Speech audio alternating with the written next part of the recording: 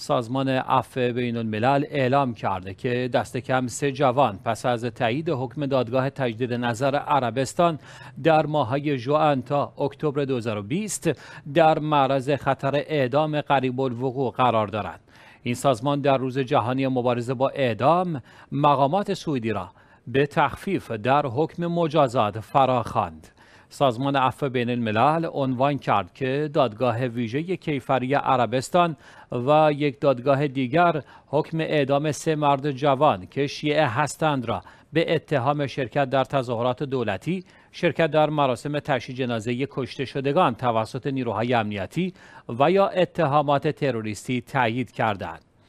یک سازمان حقوق بشری در ماه آگوست اعلام کرده که علیرغم وعده های محمد بن سلمان ولی عهد سعودی مبنی بر تخفیف در مجازات اعدام تعداد افرادی که در شش ماهه اول سال 2022 توسط عربستان سعودی اعدام شده اند تقریبا دو برابر اعدام شدگان در سال 2021 هستند.